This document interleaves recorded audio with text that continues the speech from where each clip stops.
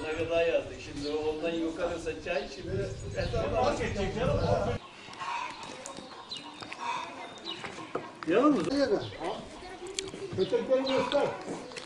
Köyümüzde 120-130 nü- civarında nüfusumuz yaşıyor ve bu yaşayan nüfusumuzun içinde hiçbir vatandaşımızın sigara içmemesi bir örnek olarak gösterilecek, parmakla gösterilecek köylerden bir tanesidir. Abi en son kim Be- Benimle oturan Muammer abimiz içiyordu. O da bundan 15 yıl önce sigarasını bıraktı ve bu 15 yıldan bu yana da köyümüzde sigara içen maalesef hiç yoktur.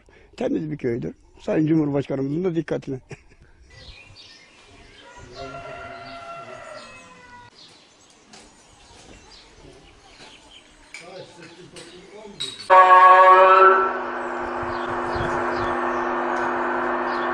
Muammer abi en son sen sigara içmişsin galiba. Evet ben 35 sene sigara içtim. Ee, köyümüzde bir karar aldık kahvede. Bu herkes sigarayı bıraktı. 35 senedir şey 20 senedir bu köyde sigara içen yok. Hiçbir tane içen yok. Bıraktık yani sigarayı. Sen normalde bırakmayı düşünüyor muydun? Hiç düşünmüyordum ama tabii köy kararı alınca biz de bırakmak mecburiyetinde kaldık. Allah razı olsun karar alanlardan. Çok iyi oldu yani. Hiç kimse sigara içmiyor.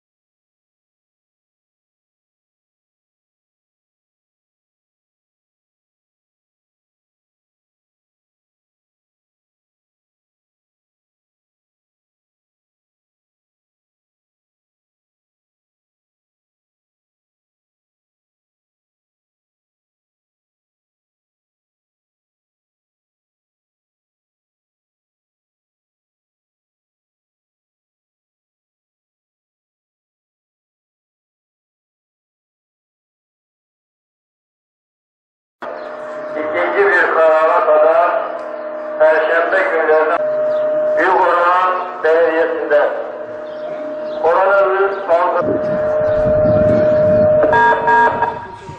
beğeniyorlar.